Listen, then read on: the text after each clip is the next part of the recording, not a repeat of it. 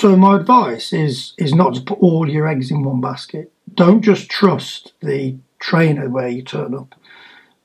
The website's a wonderful thing now, and a website designer can make every business look fantastic.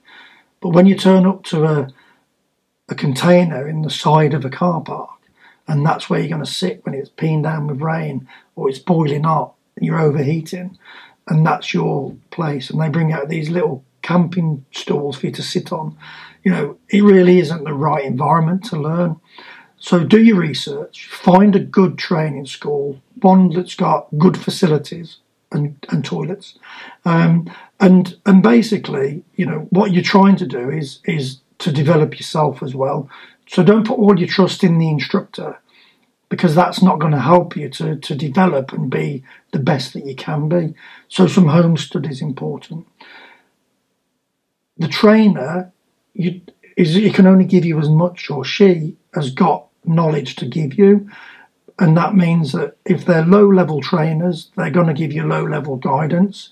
You know, so look for trainers who are high level, who have got advanced qualifications, who know what they're doing. You know, a good re- a good rapport with them as well is needed. So go and visit them, have a chat with them. You know, can you get hold of them on the phone? That's another thing because a lot of a lot of training schools you can't get hold of them on the phone. So you want to be able to to to develop your your process from CBT to test. And most importantly, I would say join Motorcycle Riders Hub. It will pay dividends in the long run, and what it will do is give you the foundation that you need for your safety for the rest of your riding career.